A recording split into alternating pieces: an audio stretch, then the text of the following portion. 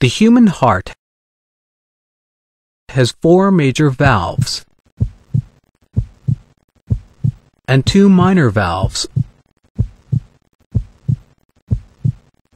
across the bloodstream, circulating through its chambers and major vessels. These valves serve two purposes. 1. Maintain a unidirectional blood flow.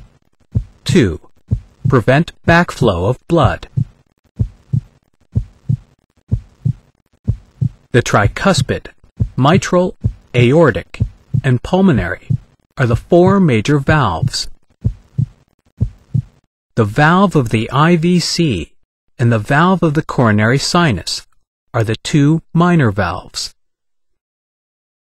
The tricuspid valve is located between the right atrium and the right ventricle.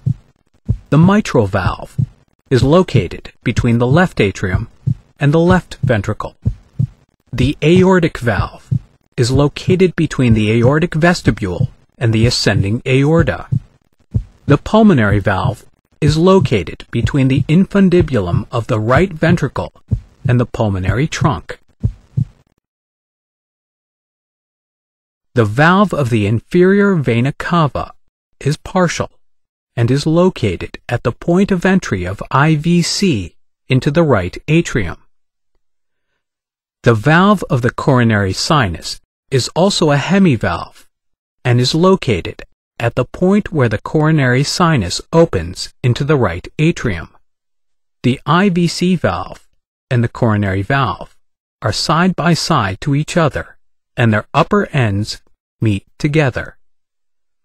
The foramen ovale is a valvular opening seen in fetal life only, and it closes at birth.